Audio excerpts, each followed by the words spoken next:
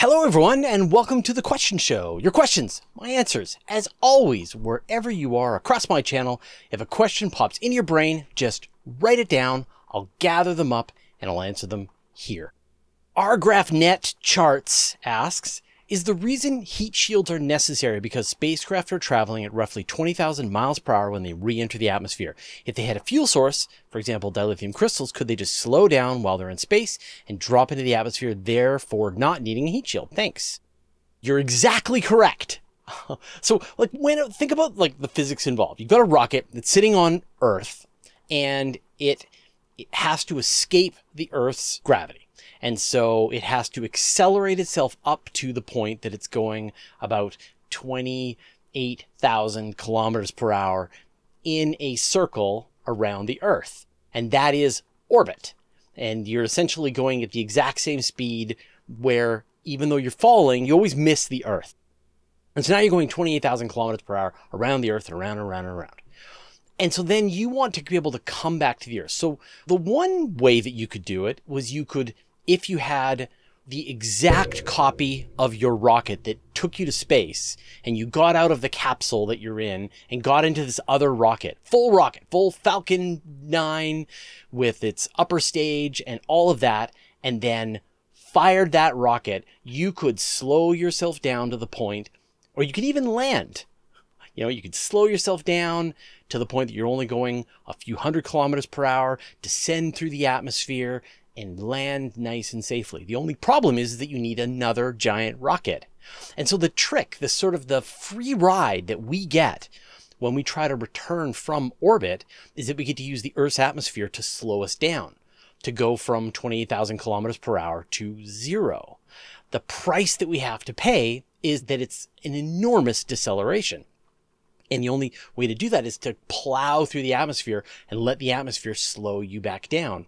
And as you force your way through the atmosphere, that generates an enormous amount of heat, which needs to be dissipated. And that's why there's all these complicated heat shields. But I think like the price of a heat shield is nothing compared to what it would cost to have a gigantic rocket. And yeah, you can imagine some far, far future where people are using antimatter or metallic hydrogen or something like that. And instead of having to decelerate themselves and use their heat shield and get through the atmosphere, they could just stop and then just descend into the atmosphere and land. And like, think about science fiction when you have these situations where the enterprise or whatever is coming into the atmosphere and it's going a tremendous amount of speed, right? That ship can go almost the speed of light on its impulse engines. It can go multiple times the speed of light on its warp drive. It could hover over some spot on the earth and just gently descend down. But, you know, the writers think it would be more exciting to have the spacecraft smashing its way through the atmosphere. So yeah, if we had denser fuel, then we wouldn't need to have as much of a heat shield. This guy, would we be able to observe any objects or clusters near the edge of the observable universe and infer any information from the gravitational force of mass beyond the observable universe threshold? So the question you're asking is a misunderstanding of what it is when we look out to the edge of the observable universe. If light moved instantaneously, if you could look out in any direction and as far as you could see, you were seeing stuff that the light was traveling instantaneously, then you would be seeing the universe as it is today, no matter where you look. And so if you could look at objects that are as far away as the edge of the observable universe, you would see giant, mature galaxies like the Milky Way in sort of the present time of the universe where star formation is kind of winding down and lots of small dwarf galaxies have merged together and some of the larger structures are forming across the universe. But when we look out in space, we're looking back in time. And the observable universe is not the farthest that we can see, but it's the earliest that we can see. We are essentially seeing the beginning of the universe in all directions because light travels at the speed of light. And so light has been traveling for 13.8 billion years from every point that we're seeing at the edge of the observable universe. And so what we're seeing is we're seeing the first moments that light could actually escape into the universe when all the universe was was just hydrogen, a little bit of helium, some other elements, just a giant surface of a star, like a red dwarf star. The entire universe was you know, 3,500 degrees Kelvin. And then it cooled down a little bit more and light could finally escape. And so if you look all, all the way out and you're like, what's on the other side of that? It would just be more of this just amorphous, primordial hydrogen and helium as far as you could go in the observable universe. And of course, every minute that goes by, we're able to see one more minute of observable universe, and we see just the next little bit of light that's finally being released from the early universe. So, unfortunately, um, your question doesn't make sense, but I hope my answer did. Horizon Brave. So, is there a gravitational limit to how massive or heavy an object can be actually sustained at a Lagrange point? Likewise, do the different Lagrange points have differing upper limits to the size of the object that can be successfully parked there? So, the way Lagrange points work, right, is you've got between two massive objects, say the Earth and the Sun, there are five Lagrange points, points of relative stability. L1, 2, and 3 are lined up between the Earth and the sun, and they are meta unstable, which means that any object that you put there is going to fall out of this location and require more and more fuel to get you back to that position. L4 and L5, which are on the orbit with the Earth, are metastable, so they don't need any additional propellant to remain in that area. And the part that's missing from that equation is the thing that can be held in the Lagrange point. I'll ignore the L1, 2, and 3 because they're meta unstable and so nothing's going to last. But L4 and L5 their other name is called the Trojan regions. And Jupiter has Trojan regions, the Earth has Trojan regions. Every planet in the solar system is going to have these Trojan regions. And they have captured, sort of like garbage collection, all kinds of material. And the size of the material that can be held in these Lagrange points does depend on the mass of Jupiter or the mass of Earth. And so Jupiter's Trojan regions can have asteroids that are dozens, a hundred kilometers across. And in fact, NASA has a mission called Lucy that's about to fly out and explore many of these Trojan objects up close. Earth, because it's smaller, has less gravity, has a smaller limit to the size of the asteroids that can remain in its Lagrange points. And I think we've only discovered a couple, and they're in the dozens of meters across size. And so they're much smaller. If they're any bigger, then they just fall out of this. And the way you sort of want to consider it is that you can have the two masses, and then whatever you put in the Lagrange point has to be of negligible mass. So small asteroid, spacecraft, astronaut, um, teapot, but it can't be something bigger like very large asteroid, another planet, trapped moon, etc. Timberwolf. Will fusion reactors essentially be the doorway to almost light speed travel, flipping somewhere around or past halfway to slow down? And will we be able to navigate at those speeds and using what?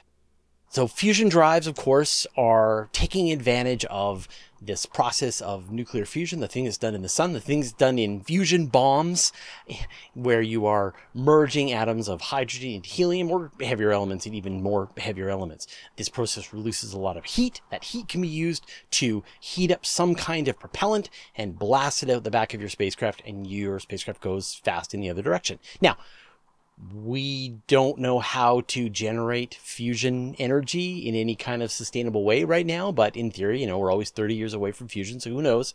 You know, hopefully I'll still be doing this show in 30 years and we'll have an answer to that question.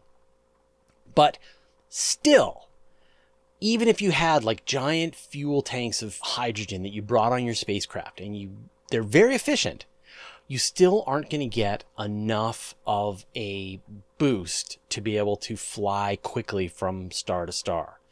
It's still, you will, you will run out of fuel before you've accelerated very far. And so to overcome this idea, there was this idea of the Bussard ramjet where you wouldn't carry any fuel tanks, but instead you would have this giant magnetic scoop that would form out in front of you and you would be gathering up little particles of hydrogen from the interstellar medium. And so you would be essentially collecting your fuel as you go. So you wouldn't need to have any fuel tanks on board. The problem with that is that the amount of a magnetic field that would be required to bring in these particles is incomprehensibly large. I think a recent paper said that you would need a magnetic field that would stretch from, say, the Earth to the Sun and that would be your funnel that was pulling in. And we can't generate magnetic fields that are anywhere close to that. So, unfortunately, the only kinds of ways of getting a spacecraft to those really, really high velocities are either some way that you can generate acceleration, but you don't have to carry the fuel on board. And that's why having some kind of laser propulsion system is probably the way that's going to work. The lasers can sit in the solar system, fire at some spacecraft with a light sail, accelerate it up to a significant portion of the speed of light, and then it's on its way. But it's the slowing back down part, which is going to be kind of tricky. You know, you need a laser at the destination that's going to fire at your spacecraft and slow it down before you can go into orbit. Otherwise, you're just going to go past the stars at 40% the speed of light, and that's not going to work.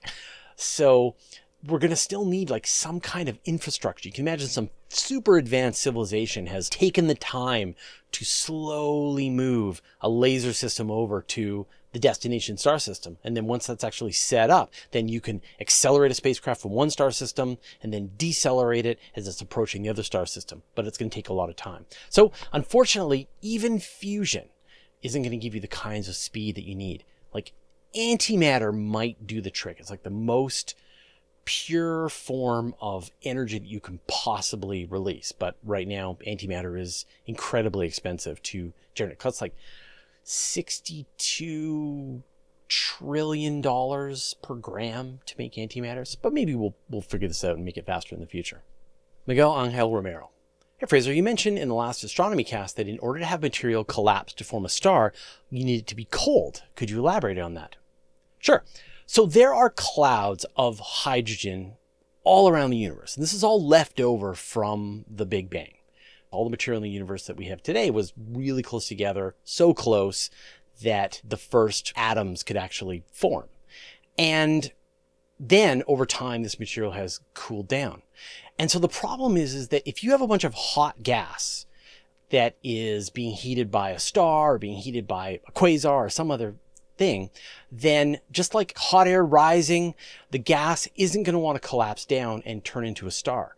The only way you're actually going to get a star is you need to have cold molecular hydrogen. And this is stuff that's, again, primordial, left over from the Big Bang. It's not taking in any temperature beyond like the background temperature of the universe. And it's able to then collapse. And usually it has to be some event, like a supernova goes off nearby and causes this material to collapse, or a star passes through a region and causes ripples. You get over densities, and that can begin this process of collapse. But if the gas is too hot, then the molecules are moving around too quickly and they refuse to collapse, and you just can't get a star. You should watch Astronomy Cast. Listen to Astronomy Cast. That's the podcast that I do with Dr. Pamela Gay. And like we've just finished episode 625, 35. We've done many episodes, so you should check it out. 6EQUJ5 Harden. Why do we have to assume that it's dark energy that is pushing outwards in our universe? Explosions in a vacuum have no reason to be influenced by gravity or within our universe, nor to stop. So astronomers back in 1998 wanted to try and calculate the expansion rate of the universe. They wanted to answer this age old question, which is like, is the universe expanding outward, decreasing in density at a rate that it will eventually come to a halt and then it will collapse back in on itself? Or will it expand and then just slow down and come to a halt at sort of infinite time? Or will it just keep on expanding forever? And so what they did was they measured the distance, these very special kinds of objects called type 1a supernovae, which detonate with a very specific amount of brightness of energy. And so if you see a type 1a supernovae, you measure the brightness, that tells you its distance. And so they were looking for all of these type 1a supernovae across the universe, and they were going to use that, you know, this one is this far away and this long ago, and this one is that far away and this long ago. And from that, they could try to measure and calculate how the expansion rate of the universe has been changing over time. And the hope was that you would measure this deceleration of the universe, of all of the galaxy clusters in the universe moving away from each other. And then you could use that to figure out and answer that question. And what they found was a complete surprise. It was the opposite of what they were expecting what they found was the regions that were distant were moving faster away from us than they should be, significantly faster. in a way that it showed that in fact not only the universe is not slowing down so it's going to come to a crash back in on itself the universe isn't slowing down so it's going to just come to a halt the universe isn't slowing down but it's going to keep on expanding forever the expansion of the universe is accelerating and this is this idea of dark energy and it was totally unexpected it was like the exact opposite thing. And the astronomers were really puzzled. And it took a long time for other people to do other experiments and confirm that, yes, indeed, this is true. Nobel Prizes all around. Um, and there will be more Nobel Prizes when people have any idea why it's happening. So that's it. Like, that's dark energy.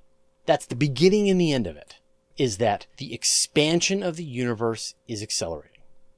And that is weird but we don't know why it's happening. We don't know if it's explosions. We don't know if it's a fundamental nature of the universe. We don't know if it's vacuum energy. We don't know if particles are popping in and out of existence that are driving this expansion faster than we thought. We don't know if it's going to lead to a big rip. We don't know anything. We just know that it's happening. But that's how it starts. That's how these mysteries unfold is you find something that's weird and then you try to figure out why. And so there are new generations of telescopes.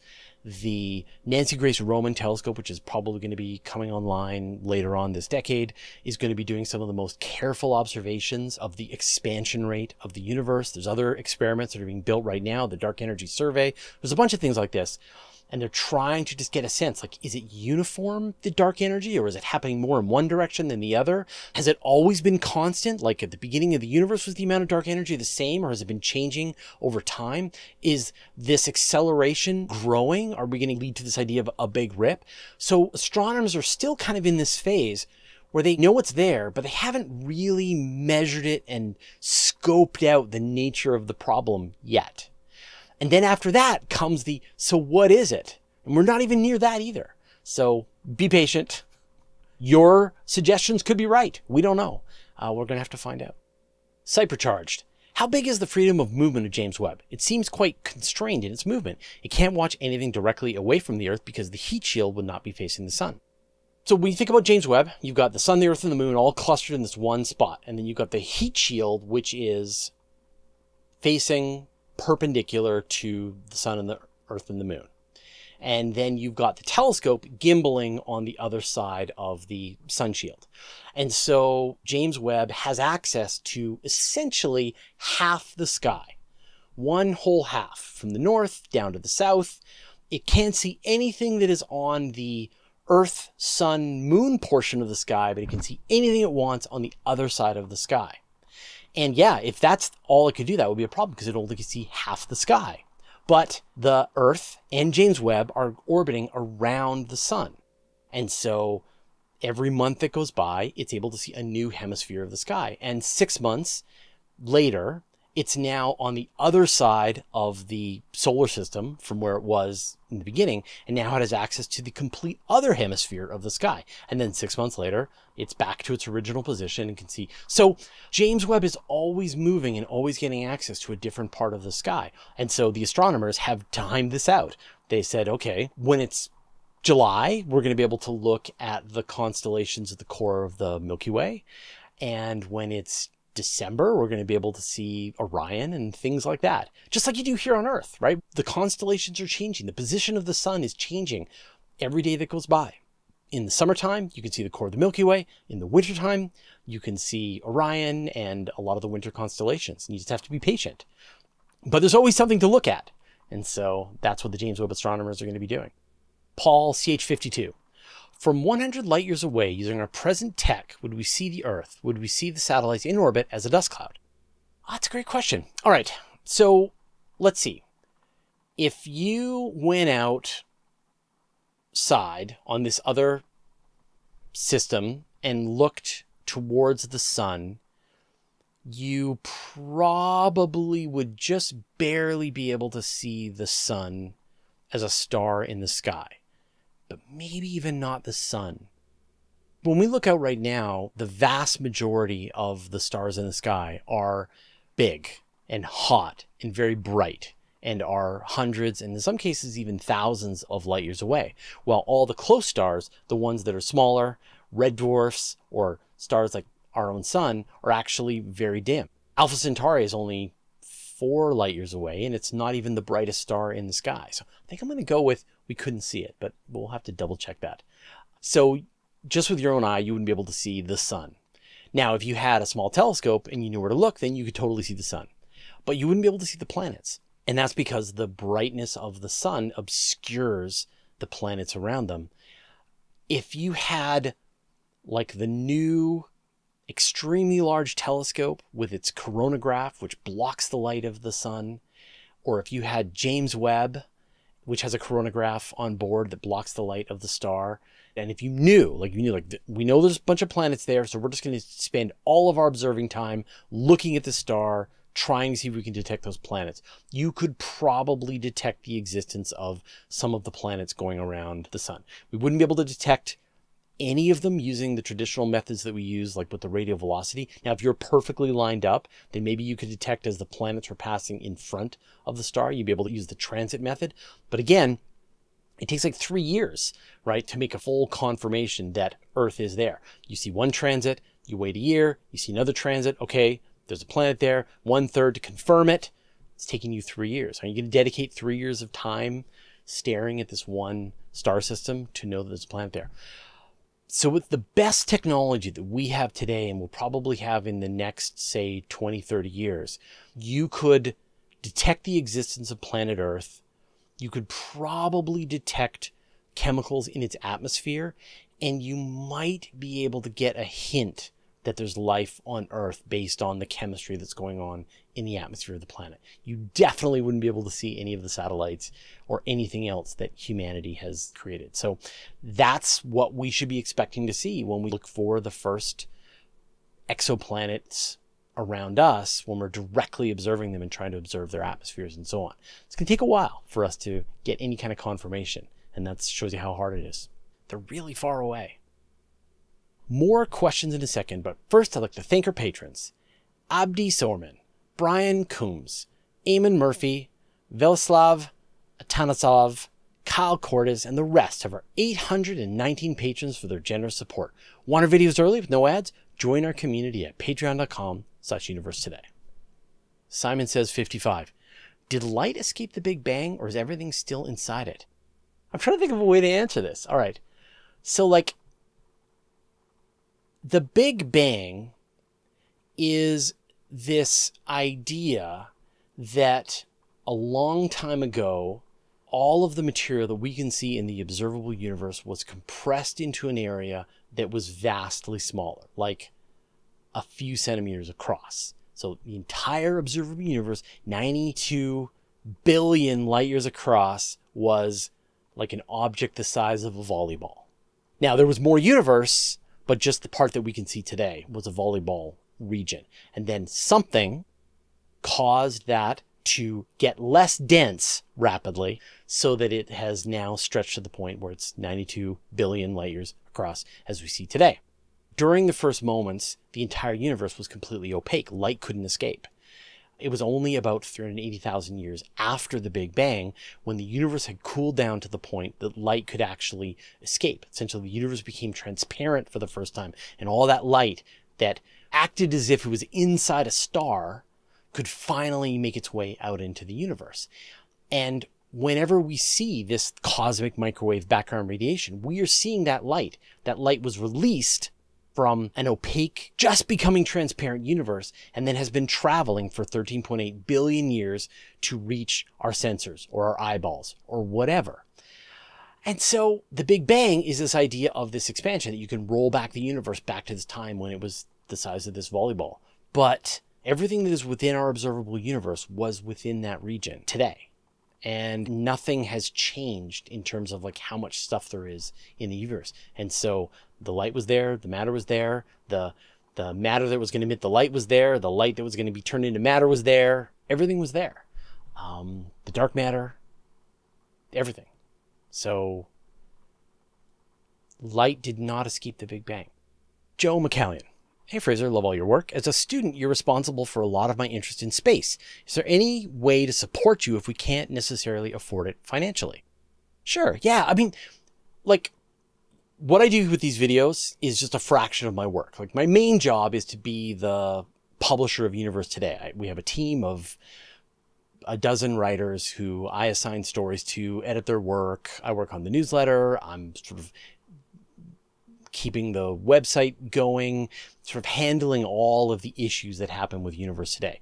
I also do podcasts with for Astronomy Cast, Weekly Space Hangout, as well as I do these question shows, as well as the interviews. Although the interviews are partly to feed what we're doing with Universe Today. Anyway, uh, mostly we make our money in advertising on Universe Today. We make some money through Patreon, but most of it is through advertising, which of course makes me a little sad because I would much rather have a website that, that was funded purely by by the fans as opposed to advertisers. But you know, people don't have money.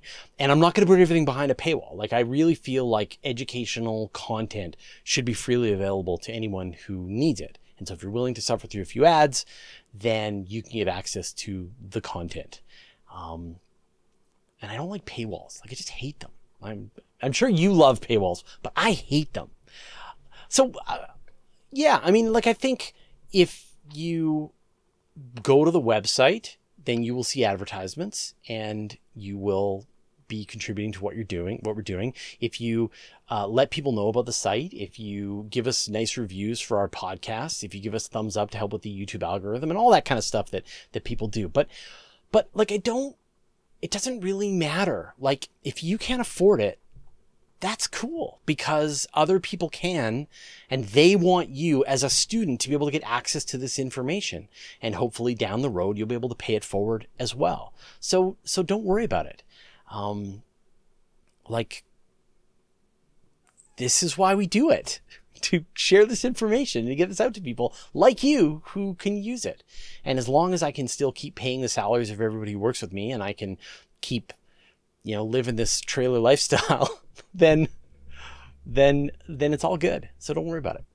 Lazy beach bum. Are black holes really dark stars? Yeah, like really, really dark stars. Uh, like like a black hole is just a star. It's just a type of star, a dead star. Like it was once a star, it exploded, the outer layers collapsed inward and smushed the center down and crunched it into so much density that the escape velocity of the star exceeds the speed of light. And therefore you can't see it because it is absorbing all the light that it's trying to emit. Any light that's trying to get past it goes into it. Any matter that's trying to go past it goes into it.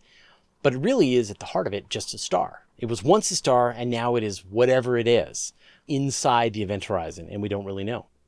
It is a star. It's definitely not a hole. Like like I would say a dark star is a better description than a black hole because it's not black, although dark isn't great either, but it's not a hole.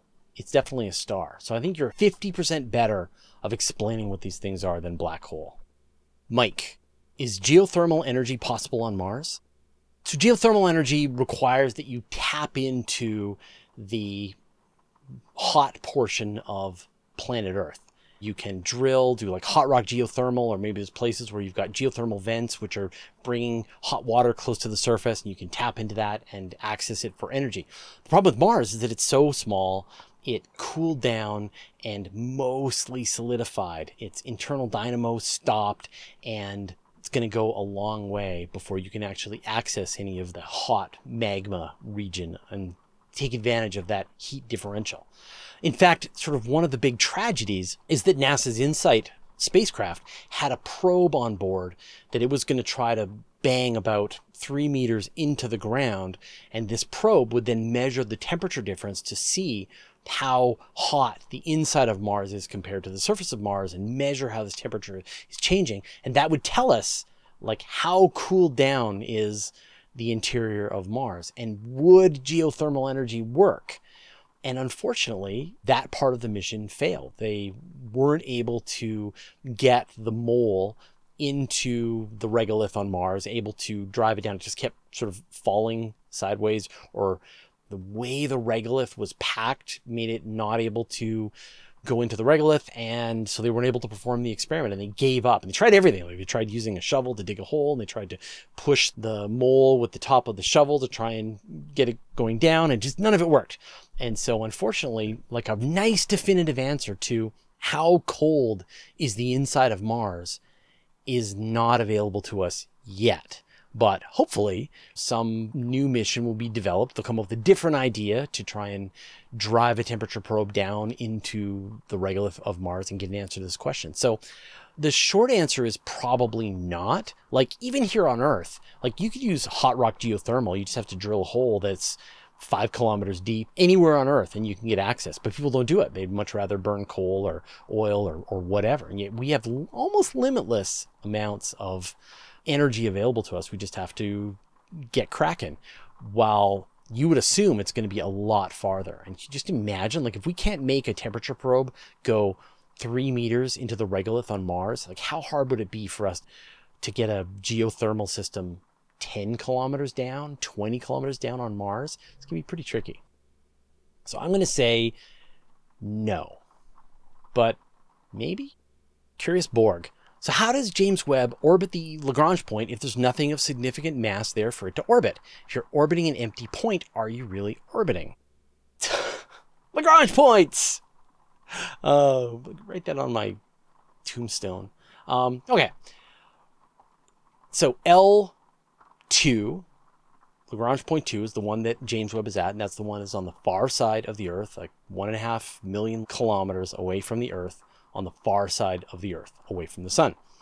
And so you think about the forces, like what actually creates the Lagrange point is that you've got the gravity of the sun creates where a planet will orbit. And so the Earth is orbiting at 30 kilometers per second around the sun because if you are the distance from the Earth to the sun, that is the speed that you have to orbit at. If you orbit faster than that, you move outward from the sun. If you orbit slower than that, then you fall into the sun. So Earth is in a perfect balance. The gravity of the sun is pulling it in, and its orbital velocity is trying to take it out, and it is in perfect balance. The Lagrange point, two, is a little bit farther away from the Earth than the sun. And so normally, if a spacecraft was out there and the Earth wasn't there, then it would be orbiting at a slower rate.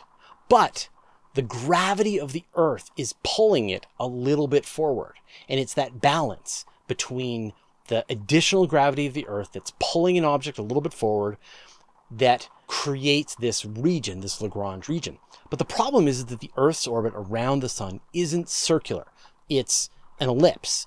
So sometimes the earth is closer to the sun and sometimes it's farther by a few million kilometers. And so you can't have a point. Like if the Earth was in a perfect circle around the sun, then the Lagrange point would truly be a point. But instead, it is a Lagrange blob, a Lagrange region.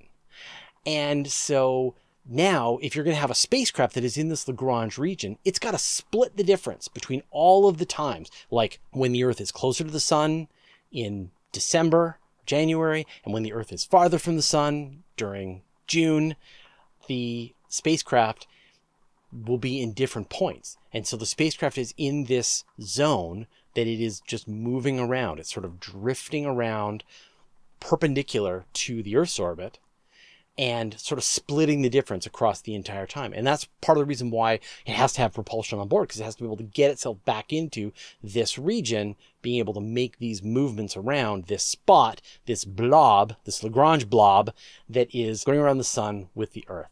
So it is trying to stay. It's the same thing with the L4 and the L5 points, right? The Trojan regions. They're not points, they are blobs. And it's like this gravity well that you can get into and roll around inside of it at different points. And it's a very large region. So you're not going to have just this tiny compact ball where all of the asteroids are all mashed together. They're all just trapped in this gravitational low point rolling around inside on different on different orbits. All-time epic. Can a solar mass black hole eat a supermassive black hole? The whatever is the more massive black hole is doing the eating. And so in this scenario, a supermassive black hole will gobble up a solar mass black hole. But what's really happening is that black holes are merging. Say you had two supermassive black holes that were orbiting around each other and they got closer and closer and then they merge into one supermassive black hole with twice the mass. They are merging into one larger. And say you have a disparity in mass. You have one that is, say, 150 times the mass of the sun and one that is 40 times the mass of the sun. These two black holes merge and you end up with a black hole that is 190 times the mass of the sun. They are merging. And so at all times, um, whether you've got a black hole that's only, say, a 10 times the mass of the sun and a black hole with a billion times the mass of the sun, they are merging. And now you have a black hole with a billion and 10 times the mass of the sun. Tropical Tom Garcia. Will human intelligence ever evolve to the point when the futility of Martian habitation becomes universally apparent? It's funny. Um, I'm starting to see this pushback um, against Martian habitation and colonization. And a lot of people, there's a big YouTuber, I forget his name. Anyway, he just did a great video talking about just how tough Martian colonization is going to be. And I think we're starting to get, like, as more people are getting excited, and Elon Musk is wanting to get into fistfights with Putin. Um, you're getting people, level heads, just trying to explain just how difficult and brutal and challenging living on Mars is going to be. And I think that we're getting to this point where people will be prepared emotionally when they see the suffering of people on Mars. And that may make us not want to go live there. So sometimes people have to make their own mistakes. Sometimes people are going to have to go to Mars and experience the hardships. And we will be able to find out from their reports what it was like. Um, yeah, I don't know. It's tough. It's, it's rough. Dylan Green, longtime listener, first time caller. Is there any aspect of dark matter that can't be explained by black holes? What is the reason for scientists leaning towards the WIMP explanation? So you can't rule out black holes as an explanation for dark matter. If you have primordial black holes, if black holes could have been formed at the very beginning of the universe in regions of overdensity of varying masses and as long as they're like within the mass of an asteroid to like a thousand times the mass of the sun, they can explain dark matter. And so if it's a thousand times the mass of the sun, you just need one of these black holes every giant chunk of space, or you could have one asteroid size in every star system size amount of space, and it would explain it. And it has not been disproven, but it doesn't necessarily mean there's any evidence for it. But there are ways that you can disprove it. And so the way that astronomers are working to try and figure out if primordial black holes can explain dark matter is they're looking for gravitational lensing. So you look at a galaxy like Andromeda, you scan the whole galaxy for a long time, and you're watching for any brief flashes of light where a black hole is moving in front of a star or something else and acting like a lens. And when you have that lensing moment, it tells you the mass of the black hole that moved in front of it. And the frequency of these events will tell you whether or not black holes will explain dark matter. And so these surveys are actually being done. Astronomers are looking for it. The other thing is that if Hawking is right, the smaller black holes, ones that are smaller than, say, the mass of an asteroid, should have evaporated and in their final moments given off this blast of gamma radiation. And so astronomers have looked for blasts of gamma radiation out there in the universe and they haven't seen them. So what that means is that if black holes are dark matter, then they have to be like planet mass or bigger. And they had to have been that way right from the very beginning because that's the minimum amount of mass that could have evaporated and so we wouldn't be able to see any evaporation events yet. And so over time, astronomers are constraining if they are primordial black holes, then how massive they can be, where they can be located, how they interact. And we may get to this point where the research in gravitational microlensing has been done so well that it is essentially ruled off. Those lines have crossed, and now black holes have to be less than the mass of a star, and yet Hawking radiation rules out black holes larger than the mass of a star and black holes disappear as a possibility. But the way science works is that you're allowed to come up with any crazy idea you want. Sure, black holes are dark matter, no problem. You then just have to try to disprove it. And so astronomers' time is spent attempting to disprove their own theories. And if you can't disprove it, then your theory might be right. So, black holes as dark matter can't be ruled out, but there's no evidence that it is. And so, more research is necessary.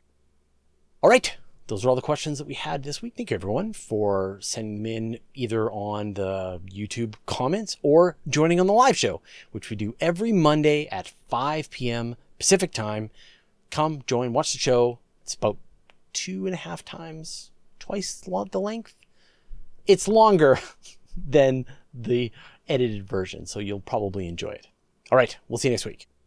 If you want a single comprehensive resource for space news, you'll want to subscribe to my weekly email newsletter. Every Friday, I send out a magazine of space news with dozens of stories, pictures, brief highlights, and links so you can find out more. Go to universetoday.com slash newsletter to sign up. It's totally free. And did you know that all of my videos are also available in a handy audio podcast format so that you can have the latest episodes as well as special bonus material like interviews with me show up on your audio device? Go to universetoday.com slash audio or search for Universe Today on iTunes, Spotify, or wherever you get your podcasts. And I'll put a link in the show notes. Thanks to all the moderators and a special thanks as always to Chad Weber and Nancy Graziano.